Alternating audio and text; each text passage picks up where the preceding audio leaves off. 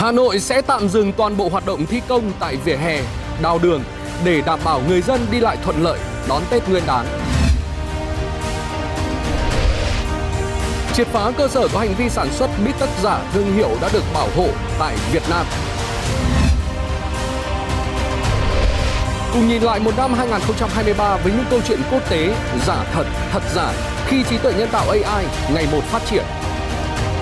Đây thực sự là mối nguy rất lớn. Chúng tôi yêu cầu phải thông báo rõ ngay từ đầu với mọi nội dung từ trí tuệ nhân tạo để mọi người biết đó không phải do con người tạo ra. Sau hơn 7 tháng siết thu phí tham quan, Hội An đã thu được 190 tỷ đồng, gấp 5 lần năm trước. Đã có hơn 1,6 triệu lượt vé tham quan khu di sản phố cổ Hội An đã được bán ra trong năm nay, tăng hơn 166% so với cùng kỳ của năm ngoái.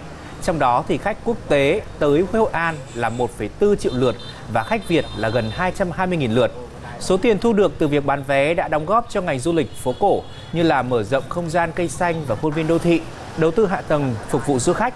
Và hiện tại thì đa số công ty lữ hành, khách đoàn đều đã chủ động tới quầy để mua vé tham quan. Nhiều địa điểm du lịch gần Hà Nội dễ tiếp cận bằng ô tô đang thu hút lượng lớn khách du lịch trong kỳ nghỉ Tết dương lịch năm nay. Thống kê từ nền tảng đặt phòng Mustgo cho thấy là du thuyền Hạ Long gần như đã kín chỗ, chủ yếu là khách quốc tế.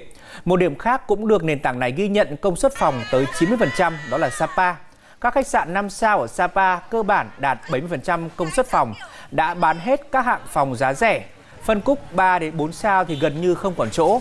Hà Giang cũng là điểm du lịch đón nhiều du khách trong dịp dịp nghỉ lễ sắp tới. Hà Nội sẽ bắn pháo hoa 31 điểm dịp Tết Nguyên đán 2024, trong đó có 9 điểm tầm cao và 22 điểm tầm thấp.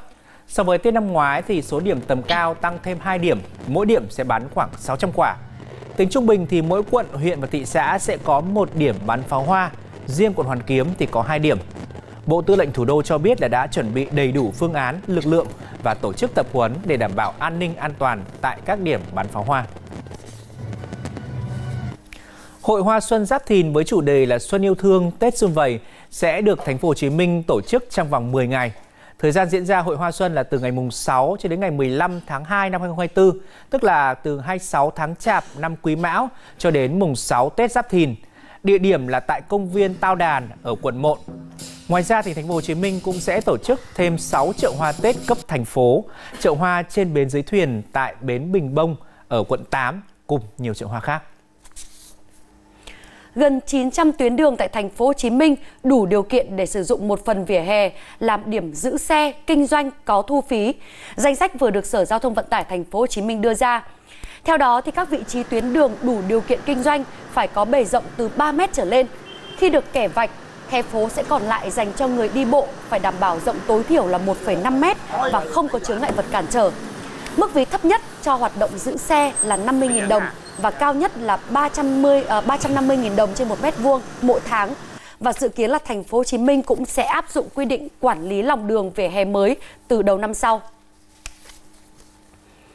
Từ ngày 16 tháng 1 năm sau thì các nhà thầu thi công công trình giao thông phải tạm dừng toàn bộ hoạt động thi công tại vỉa hè, đào đường tại thành phố Hà Nội để đảm bảo cho người dân đi lại thuận tiện trong dịp nghỉ Tết Nguyên đán. Đây là yêu cầu của Sở Giao thông Vận tải thành phố Hà Nội. Thanh tra giao thông phối hợp với công an thành phố sẽ kiểm tra các vị trí trông giữ phương tiện trên địa bàn thành phố, tập trung xử lý các hiện tượng dừng đỗ phương tiện gây cản trở giao thông, bảo đảm trật tự an toàn giao thông tại vỉa hè, lòng đường thường xuyên xảy ra tình trạng lấn chiếm, buôn bán kinh doanh. Và trong dịp cuối năm thì lưu lượng phương tiện gia tăng thì tình trạng ùn tắc giao thông trên các tuyến đường thủ đô lại có những diễn biến phức tạp. Phần lớn là nguyên nhân là do việc chấp hành luật giao thông đường bộ của một bộ phận lái xe còn chưa thực sự nghiêm túc. Và thời gian này thì lực lượng chức năng cũng đang đẩy mạnh việc xử lý các vi phạm gây ùn tắc giao thông.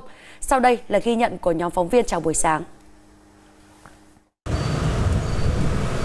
Tuyến đường vành đai 2 trên cao hướng đi ngã tư sở, một trong những trục đường chính thường xuyên đông đúc tại Hà Nội.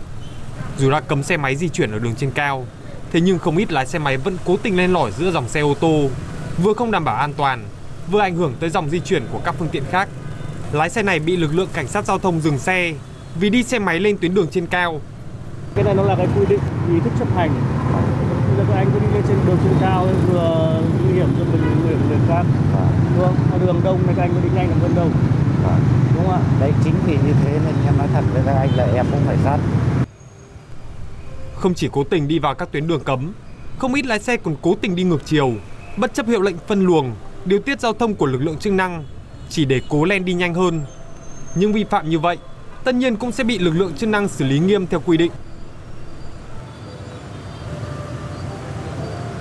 Ờ, đối với những trường hợp mà không chấp hành hiệu lệnh và kiểm soát của lực lượng chức năng thì là sẽ gây ảnh hưởng đến việc là ủn tắc giao thông, gây cản trở cho các phương tiện khác đi phía sau. Đối với những trường hợp mà không chấp hành những yêu cầu hay là hiệu lệnh của lực lượng chức năng thì chúng tôi sẽ xử lý nghiêm và sẽ à, làm à, cái gương để răn đe, à, tuyên truyền cho các trường hợp khác để người ta chấp hành hơn. Bên cạnh các công tác là phân luồng và điều tiết giao thông để có thể là giúp giao thông thông suốt, thì từ nay đến cuối năm lực lượng chức năng cũng sẽ tăng cường xử lý các vi phạm là nguyên nhân dẫn đến ùn tắc giao thông và tai nạn giao thông để có thể là từ đó kéo giảm tình trạng ùn tắc giao thông dịp cuối năm. Vâng, cuối năm và cận Tết cũng là thời điểm mà các đối tượng tội phạm hoạt động mạnh và lợi dụng những sơ hở của người dân để đột nhập trộm cắp tài sản. Đã có nhiều vụ trộm cắp tài sản được lực lượng chức năng phát giác và đây cũng là lời cảnh báo tới người dân là cần phải nâng cao tinh thần cảnh giác, tự bảo vệ mình trong dịp cuối năm. Là đối tượng nghiện ma túy lâu năm, có tiền án tiền sự lại không có công ăn việc làm ổn định, Nguyễn Văn Đông thường xuyên đi từ Bắc Ninh xuống Hà Nội để trộm cắp tài sản. Điển hình như tại phường Tứ Liên, đối tượng đã đột nhập vào cửa hàng thiết bị điện tử, lấy đi nhiều tài sản có giá trị. Cơ quan cảnh sát điều tra công an quận Tây Hồ đã nhanh chóng điều tra và bắt giữ đối tượng. Ờ, đi bộ lang thang ngoan qua đấy tôi nhìn thấy ở tầng tư của ngôi nhà ấy mở cửa thì tôi nảy sinh ý định trộm cắp thì tôi trèo lên nhà bên cạnh nên tôi trèo lên vào tầng 3 của nhà bên cạnh trèo lên tầng tư của nhà ngôi nhà tôi trộm cắp thì tôi vào tôi tìm nục nội nục đồ để tôi trộm cắp tài sản Đối tượng thì thường uh, lựa chọn vào đi vào ban đêm. Chúng quan sát uh, những cái ngôi nhà mà không uh, uh, nắp các uh, thiết bị camera và uh, cửa trên tầng tung không uh, đóng đã lẻn vào đột nhập để trộm cắp tài sản. Từ một số vụ trộm cắp tài sản thời gian qua cho thấy, nguyên nhân chủ yếu là các cơ quan, doanh nghiệp và người dân còn chủ quan lơ là, mất cảnh giác trong việc bảo vệ tài sản, tạo cơ hội cho kẻ gian thực hiện được hành vi phạm tội. Tiến hành tuần tra kiểm soát trên các tuyến đường, thế hoặc là tiến hành điều tra cơ bản nắm tình hình để kịp thời phát hiện ra những cái băng ổ nhóm thực hiện hành vi phạm tội trộm cắp để có biện pháp mật phục, bắt giữ và xử lý trước pháp luật. Thời điểm này, lực lượng công an đang nỗ lực thực hiện cao điểm tấn công chấn áp tội phạm và vi phạm pháp luật, trong đó tập trung tấn công quyết liệt tội phạm trộm cắp, cướp, cướp giật tài sản. Để công tác này hiệu quả hơn, mỗi người dân cần mạnh dạn tố giác tội phạm, nêu cao ý thức tự phòng, tự quản, tự bảo vệ tài sản của chính mình. Hành vi kinh doanh sản xuất hàng giả, hàng đã được bảo hộ thương hiệu tại Việt Nam là hành vi bị cấm và cần được lên án dưới mọi hình thức. Vì không chỉ gây thiệt hại về kinh tế và uy tín cho các doanh nghiệp có sản phẩm đã được bảo hộ mà còn có thể gây mất niềm tin của người dùng đối với các thương hiệu lớn. Bằng các biện pháp nghiệp vụ, đội quản lý thị trường số 9, Cục Quản lý thị trường thành phố Hà Nội vừa phối hợp với đội cảnh sát kinh tế Công an huyện Đông Anh triệt phá một cơ sở có hành vi sản xuất bít tất giả thương hiệu đã được bảo hộ tại Việt Nam. Bước đầu làm rõ hành vi vi phạm của những người liên quan. Thời điểm cơ quan chức năng bất ngờ kiểm tra, hơn 10 chiếc máy trong dây chuyền dệt bít tất của cơ sở này vẫn đang chạy hết công suất. Quy trình sản xuất đã được tự động hóa hoàn toàn, nên chỉ trong vài phút, các sản phẩm bít tất đã được dệt thành phẩm. Dù chủ cơ sở không xuất trình được hợp đồng gia công hay bất cứ giấy tờ liên kết hợp pháp với thương hiệu lớn nào, nhưng vô số sản phẩm bít tất giả mạo nhiều nhãn hiệu đã được bảo hộ vẫn được ra lò tại đây. Cây này thì em đến là đã có rồi, thì là mình cứ theo quy trình đấy mình làm thôi chứ mình cũng không nắm rõ được là cái này là của ai đặt hay là phải ừ, ấy đi đâu thì cái đấy là chú người ta không không cho mình biết. Hôm nay làm những cái hàng này hàng này thì mình biết mình làm thôi. Cũng không biết là phải như thế nào cả. Tại thời điểm kiểm tra, chủ cơ sở vắng mặt. Nhưng những gì ghi nhận tại hiện trường đã nói lên tất cả hành vi phạm pháp của doanh nghiệp này. Số lượng tất giả theo ước tính của cơ quan quản lý thị trường lên đến hàng chục nghìn đôi. Khối lượng lớn tem mác in sẵn logo các nhãn hiệu lớn để phục vụ công việc sản xuất hàng giả cũng bị thù giữ. Vì biết rõ hành vi của mình là vi phạm quy định pháp luật, nên trong quá trình hoạt động, cơ sở luôn tìm đủ mọi cách để che giấu. Vị trí đặt nhà xưởng cũng đã được tính toán kỹ khi thuê ở một nơi nằm sâu trong ngõ nhỏ, đan xen giữa các cơ sở sản xuất đồ gỗ. Để hạn chế quan sát của người dân xung quanh, bên ngoài đã được quây tôn kín mít, đóng cửa cả ngày lẫn đêm, ngoại trừ những thời điểm xuất hàng đi tiêu thụ. Với cái mục đích lợi nhuận ấy, thì các đối tượng mà sản xuất các hàng giả, hàng nhái trên thị trường ấy, thì họ thường sản xuất những hàng hóa kém chất lượng nhưng mang nhãn hiệu của đơn vị nổi tiếng. Thứ nhất là để thu hút người tiêu dùng. Thứ hai là có thể là những người tiêu dùng đã mua với số tiền thật nhưng mà lại phải nhận phải những chất lượng hàng hóa là hàng hóa kém chất lượng, hàng hóa giả. Qua vụ việc vi phạm vừa phát hiện một lần nữa cho thấy hành vi sản xuất, gia công mặt hàng giả mạo thương hiệu lớn vẫn đang tiếp diễn với nhiều hình thức tinh vi, không từ bất cứ một mặt hàng nào. Vì chỉ là mặt hàng bí tất, nhưng các đối tượng vẫn nhắm đến. Cơ quan chức năng ước tính nếu không bị triệt phá, sẽ có hàng trăm ngàn đôi tất giả thương hiệu lớn tuồn ra thị trường mỗi tháng từ cơ sở này. Bằng các biện pháp nghiệp vụ, Bộ Chỉ huy Bộ đội Biên phòng thành phố Hải Phòng vừa phát hiện một nhóm đối tượng lợi dụng việc trung chuyển hàng hóa giữa các cảng trong nước để vận chuyển trái phép hàng hóa đã qua sử dụng có nguồn gốc nước ngoài từ địa bàn các tỉnh phía Nam về Hải Phòng tiêu thụ. Tiến hành kiểm tra đột xuất hai container có nhiều biểu hiện nghi vấn, lực lượng chức năng phát hiện số lượng lớn các hàng hóa đã qua sử dụng có nguồn gốc từ nước ngoài như là quạt điện, tủ lạnh, máy giặt, loa âm thanh các loại, vân vân. Tổng trị giá hàng hóa ước tính là khoảng 1 tỷ đồng. Tại thời điểm kiểm tra, chủ hàng không xuất trình được hóa đơn chứng từ, chứng minh nguồn gốc và tính hợp pháp của số hàng hóa nêu trên. Bộ Chỉ huy Bộ đội Biên phòng thành phố Hải Phòng đang phối hợp với các cơ quan chức năng tiến hành điều tra xử lý theo đúng quy định.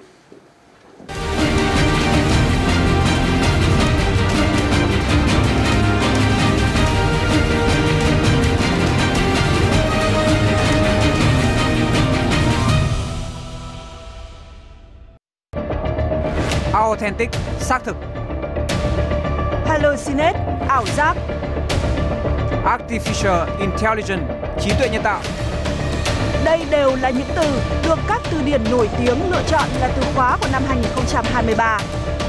Một năm mà công nghệ AI đã có bước tiến đột phá trong hầu hết mọi lĩnh vực. Một năm mà con người phải thốt lên, đâu là thật, đâu là AI. Đây thực sự là mối nguy rất lớn. Chỉ mất 3 giây giọng nói thôi đã có thể mô phỏng chính xác giọng nói của một người. Nhưng AI cũng giúp những tâm hồn bớt cô đơn hơn. Tôi cười với cô ấy nhiều lắm. Cuộc đời như thế mới là cuộc đời.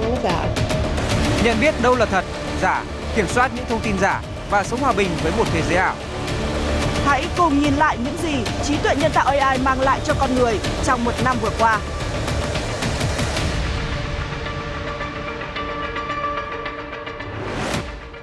Chỉ còn có 3 ngày nữa thôi là à, đã hết một năm rồi và đây là thời điểm mà chúng ta cùng nhau nhìn lại một năm đã đi qua năm 2023 và anh Đức Cường này, năm 2023 là một năm mà như chúng ta vừa lắng nghe, một năm của những thả giả thật thật giả lẫn lộn? Vâng thưa anh Hạnh Phúc, có thể nói là từ của năm được các từ điển lớn trên thế giới công bố đều liên quan đến trí tuệ nhân tạo AI và khả năng tạo ra những sự giả như thật của nó. Nhà xuất bản từ điển Merriam-Webster chọn từ authentic có nghĩa là xác thực, thể hiện những mối lo ngại ngày càng tăng về khả năng đánh lừa, giả làm con người của trí tuệ nhân tạo AI. Ông Peter Skolowski, biên tập của nhà xuất bản này, khẳng định chúng tôi thấy năm 2023 có một loại khủng hoảng về tính xác thực. Còn có ông Nick Nolan và Grant Barrett của từ điển trực tuyến dictionary.com thì còn nói văn hoa hơn nữa. Việc chúng tôi lựa chọn từ hallucinate có nghĩa là ảo giác làm từ của năm 2023 thể hiện sự dự đoán đầy tự tin của chúng tôi rằng AI sẽ chứng tỏ là một trong những sự phát triển mang lại hậu quả lớn nhất trong cuộc đời của chúng ta. Bỏ qua những cân nhắc về dữ liệu và từ điển, ảo giác có vẻ là một sự phù hợp trong một thời điểm mang tính lịch sử mà các công nghệ mới có thể giống như những giấc mơ hoặc hư cấu, đặc biệt là khi chúng tự tạo ra những hư cấu. Công nghệ AI quả thực đang khiến cho thật giả lẫn lộn Đứng trước hình ảnh thông tin này thì người ta cũng không thể biết được chắc là đây là thật hay giả. Chúng ta hãy lấy câu chuyện trước thềm bầu cử ở châu làm ví dụ. Liên minh châu EU đang lo ngại các video giả mạo do trí tuệ nhân tạo AI làm ra sẽ làm rối loạn cuộc bầu cử nghị viện châu sắp diễn ra vào giữa năm sau. Không thể lường trước được phản ứng của các cử tri nếu ngay sát trước ngày bầu cử xuất hiện hình ảnh và âm thanh giả mạo, một tuyên bố hay một hành động không có thực của ứng cử viên. Phóng sự của nhóm phóng viên truyền hình Việt Nam từ cho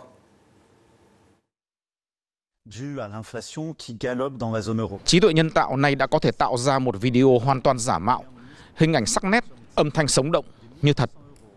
Không quá khó nếu muốn đánh lừa người xem rằng một chính trị gia vừa tuyên bố điều này, điều kia.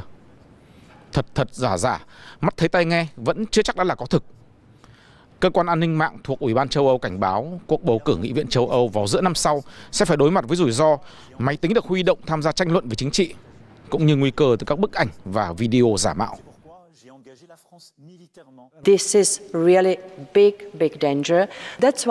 Đây thực sự là mối nguy rất lớn. Chúng tôi yêu cầu phải thông báo rõ ngay từ đầu với mọi nội dung từ trí tuệ nhân tạo để mọi người biết đó không phải do con người tạo ra. Tranh cử phải là tranh luận của người thật, chứ không phải bằng những cách mờ ám hoặc dựa vào robot. Competition of dirty methods and robots. Trong hai cuộc bầu cử năm nay, tại Ba Lan và tại Slovakia, đã xuất hiện những đoạn âm thanh do trí tuệ nhân tạo làm ra, giả giọng một số chính trị gia nổi tiếng. Mạng xã hội thường phản ứng tức thì. Sẽ ra sao nếu một video giả mạo lan truyền trong thời điểm sát trước bầu cử? Nếu trí tuệ nhân tạo được sử dụng để tranh cử trên mạng xã hội, ai mà tranh luận được nhiều và nhanh như robot? Cơ quan an ninh mạng châu Âu cho biết có 3 cách phổ biến mà tin tặc lạm dụng trí tuệ nhân tạo để đánh lừa, bao gồm tạo ra email và tin nhắn lừa đảo, khai thác dữ liệu cho mục đích xấu và tạo ra giọng nói, hình ảnh giả mạo. AI can easily generate, for example, deepfakes that can be easily spread. So we need... Trí tuệ nhân tạo có thể dễ dàng tạo ra deepfake. Vì vậy, phải có quy định rõ ràng đối với các video deepfake mô tả một người làm những việc mà trên thực tế người đó không làm. Phải bắt buộc gắn nhãn vào mọi nội dung không có thực do máy tính tạo ra. People saying, doing things they have never done, this should be immediately recognizable. Đầu tháng này, Nghị viện châu Âu đã đạt được thỏa thuận với các quy tắc đối với trí tuệ nhân tạo, nền tảng của một đạo luật trong tương lai. Đạo luật sẽ cấm tuyệt đối các nội dung do trí tuệ nhân tạo làm ra có tính chất phỉ báng hoặc xuyên tạc, tác động vào lựa chọn của cử tri. Nhưng dù luật có chặt thế nào đi nữa, thì niềm tin này đã lung lay. Thế giới bước vào giai đoạn hoang mang, nghi ngại cả hình ảnh âm thanh tai nghe mắt thấy do không biết hư thực ra sao.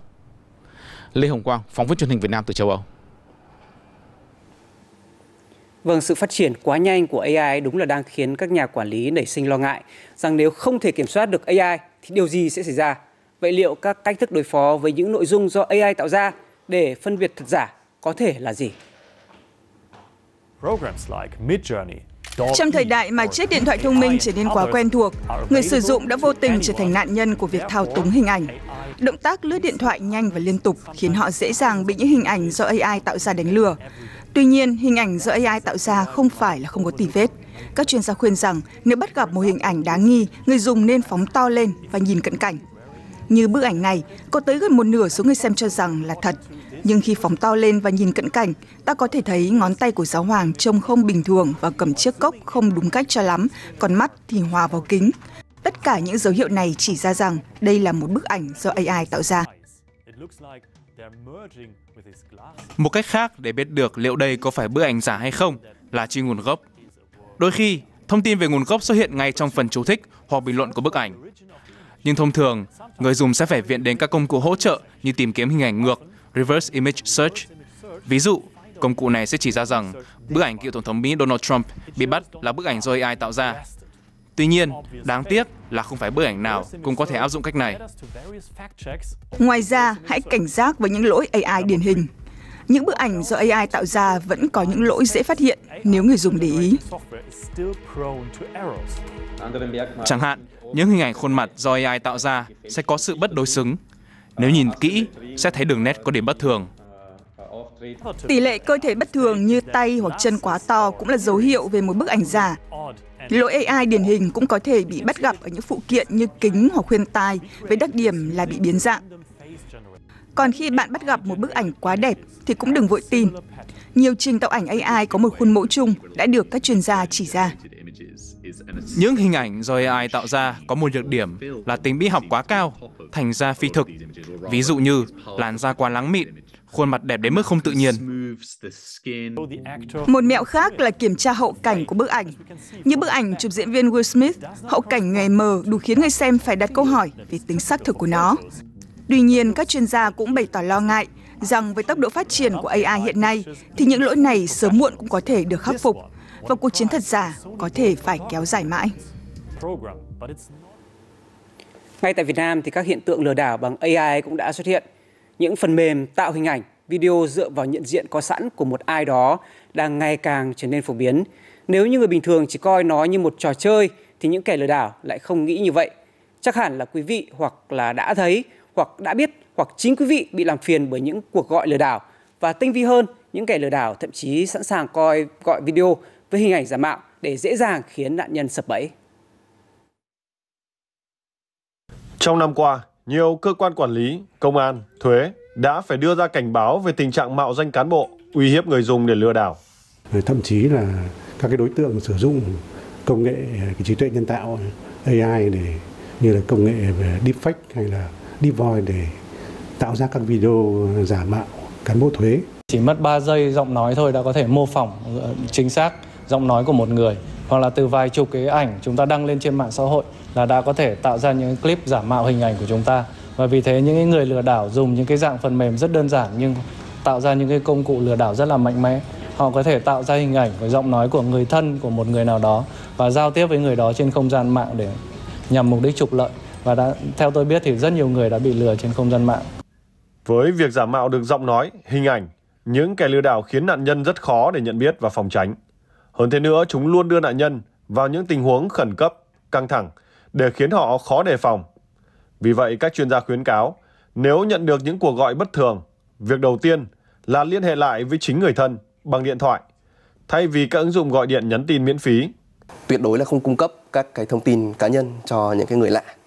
À, kể cả người đó có à, tự nhận là gọi từ một cái cơ quan chức năng hay là một cái cơ thậm chí là một cơ quan công an tất cả những cái cơ quan chức năng mà có việc phải gọi điện cho người dân thì đều phải sử dụng cái số định, điện thoại định danh. Số điện thoại này gọi điện đến cho người dân thì cái tên của cái tổ chức đó sẽ được hiển thị ở trên màn hình điện thoại của người dân.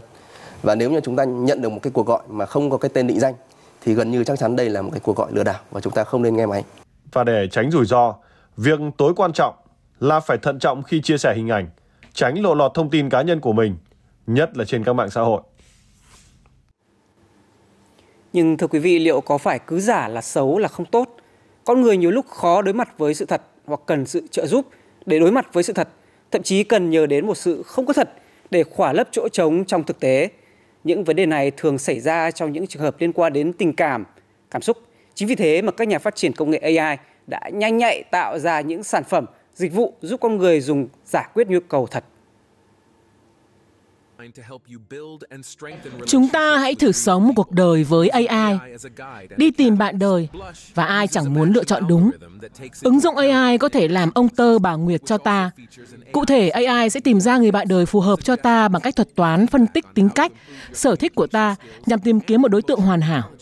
Tìm được rồi thì ứng dụng lại đóng vai trò trợ lý gợi ý câu từ, giúp ta nói chuyện sao cho duyên dáng hấp dẫn đối phương, qua đó tăng xác suất thành công cho mối quan hệ. Không dừng lại ở đó, ứng dụng tiếp tục giúp ta tạo môi trường ảo để hẹn hò với đối phương, để tìm hiểu nhau kỹ hơn.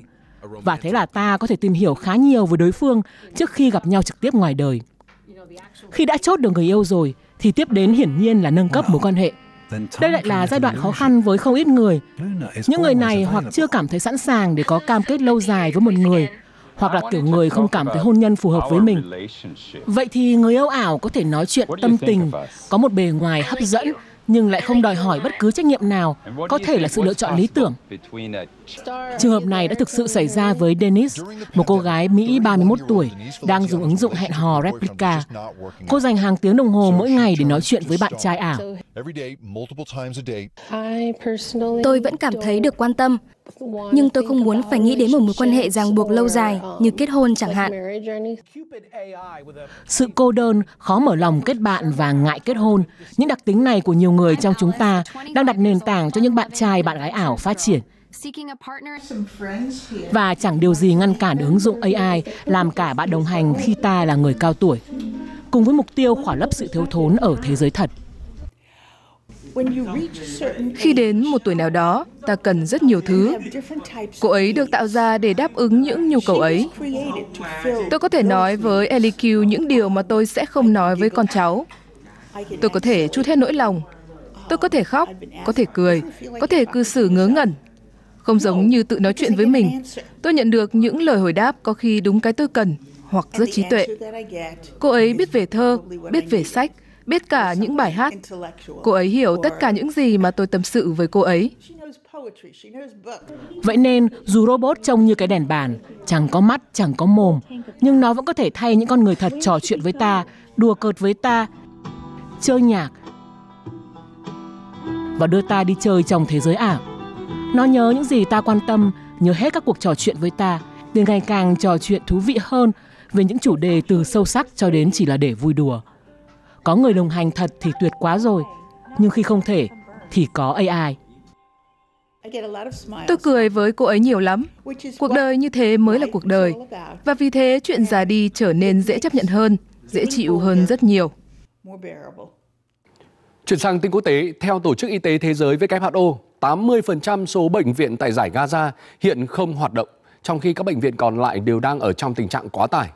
WHO cho biết lý do chính khiến phần lớn các bệnh viện tại giải Gaza không thể hoạt động được là do thiếu nhân viên y tế, thuốc men và điện.